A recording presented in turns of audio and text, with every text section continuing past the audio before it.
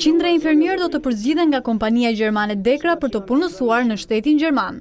Dekra ka lançuar sot fushatën e saj për aplikimin e gjithë infermierëve që të trajnohen për të marrë leksione të gjuhës gjermane, si dhe për të bërë konvertimin e diplomës në Gjermani. Peter Klingler, përfaqësues i kompanisë Dekra tha se qëllimi i kompanisë është që t'u ofrojë të gjithë infermierëve mundësinë që të punësohen në Gjermani.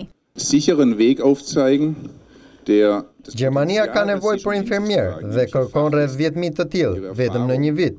Ajo që ne ofrojmë është një mundësi punësimi me kontratë të plotë, pasi infermierët të jenë trajnuar dhe të kenë konvertuar diplomat. Ndërkohë, Thomas Bastian, një tjetër përfaqësues i Dekras sqaron procedurat e aplikimit dhe të punësimit.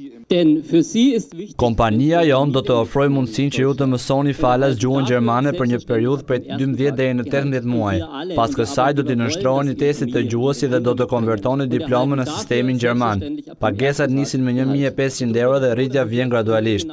Të gjithë mund të aplikojnë pasi nuk do të ketë kritere përjashtuese për asnjë infermier. Nora Malaj, zëvendësministre e Arsimit, tha se kjo është një mundësi e shkëlqyer për të gjithë infermierët.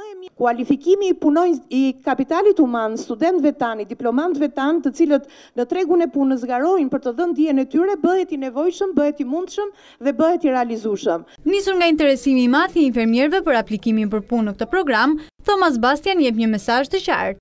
You're welcome in Germany, you're urgently needed in Germany. Të gjithë ju jeni të mirëpritur për të ardhur në Gjermani, pasi ne ju ofrojmë mundësi punësimi të sigurt. Mos u tremni, Gjermania ka vend për të gjithë ju.